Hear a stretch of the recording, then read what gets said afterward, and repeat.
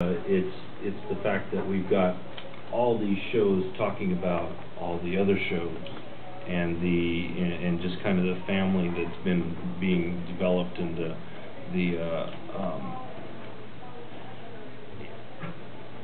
cooperation, I guess, um, collaboration that's all involved inside of this, in- inside of the, the Farpoint network. Um, we all help each other. Everybody there is, is there to, to make our, sh- your show better.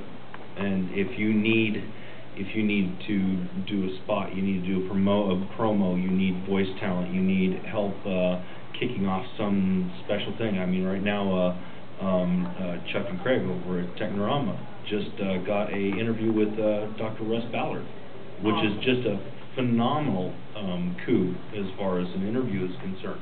And, uh, we've just